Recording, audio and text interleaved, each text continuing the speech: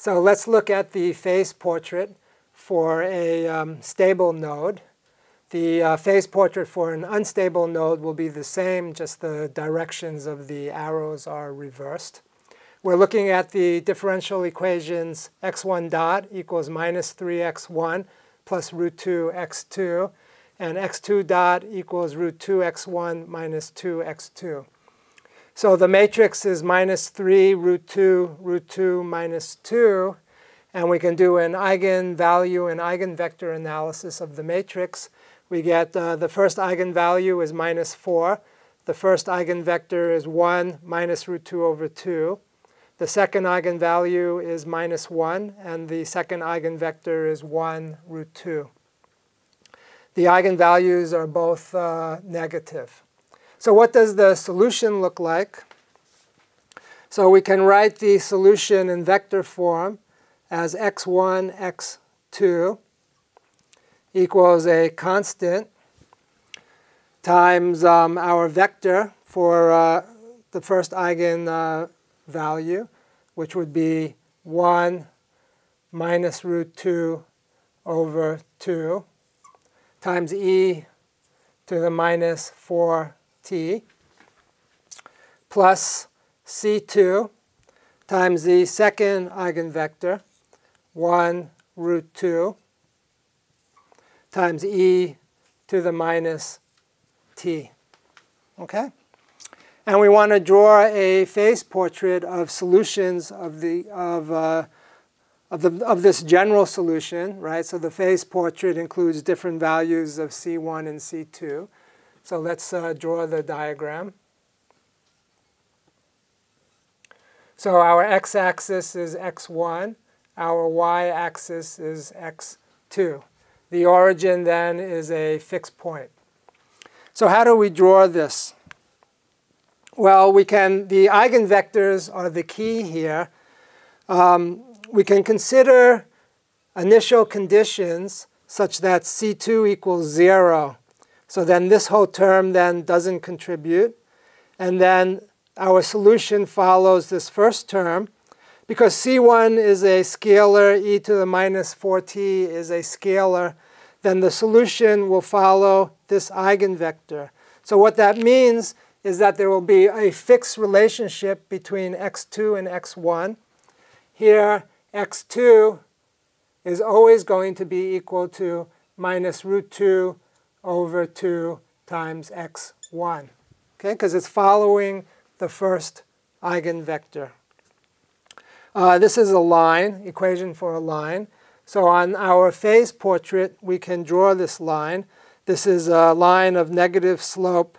Uh, slope is uh, slightly um, uh, larger than minus 1. So it's uh, less shallow.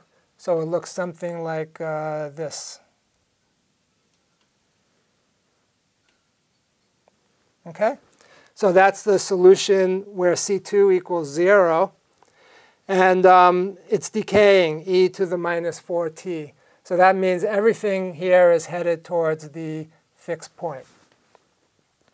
Okay, then we can draw the other eigenvector. So if c1 equals 0, so the initial conditions such that c1 equals 0, the solution follows the second eigenvector. And here x2 is always going to be equal to the square root of 2 times x1.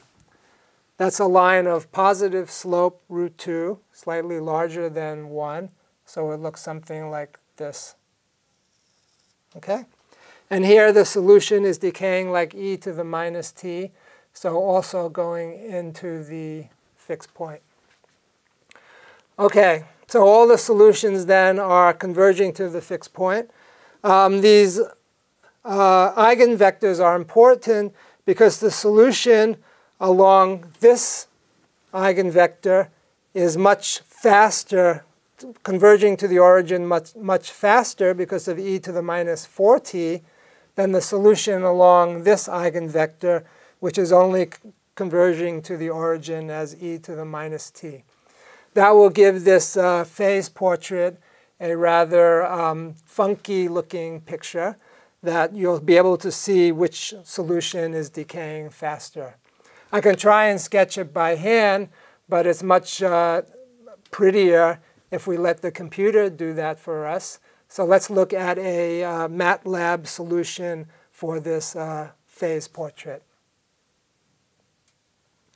As you can see, I drew the lines corresponding to the eigenvectors. And you can see that the solution along the first eigenvector, uh, this line here, is uh, proceeding much faster than the solution along the second eigenvector. Because the first eigenvector is decaying like e to the minus 4t, and the second eigenvector is decaying like e to the minus t. Okay, so let me review. So in this video, I showed you how to sketch a uh, phase portrait associated with a node. Um, if it's a stable node, the eigenvalues are both negative. All the solutions uh, converge to the origin. If it's an unstable node, the two eigenvalues will be both positive and all the solutions will diverge from the origin, move away from the origin. The key to drawing the phase-space portrait is to consider separately uh, initial conditions where C2 equals 0 so that the solution follows V1, or to consider initial conditions such that C1 equals 0 and the solution follows V2. I'm Jeff Chasnov. Thanks for watching, and I'll see you in the next video.